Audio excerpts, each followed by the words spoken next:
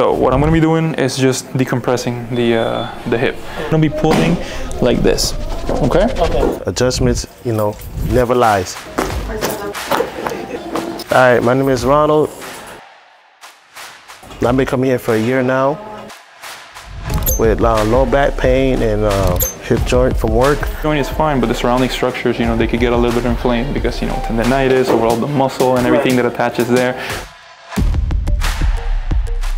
Working too much. But ever since I've been coming here, you know, the doctors, you know, they've been doing really good. Got me working, got me walking out. Good. Any leg felt a little bit uncomfortable today or heavy? That left side? Now I can jog without feeling pain. There it is. Other side. You know, um, I just been coming here consistently. There it goes. Release pretty good. I'm at a, a year and a half coming in here right now, so I've been doing good and I'm gonna continue. Side. Right there. Right here. So what I'm gonna be doing is just decompressing the uh, the hip. Okay. So I'm gonna be pulling. Do you have you had any issues with the knee? Kind of like overall no. I place the leg here. I'm gonna be pulling like this. Okay. Okay.